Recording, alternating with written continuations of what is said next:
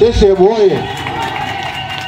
Ukisimama kwenye jukwaa la siasa ukatumia nusu saa kuwasema watu wengine, unawapotezea muda watu wanaokusikiliza, na wewe mwenyewe unajishushia heshima yako.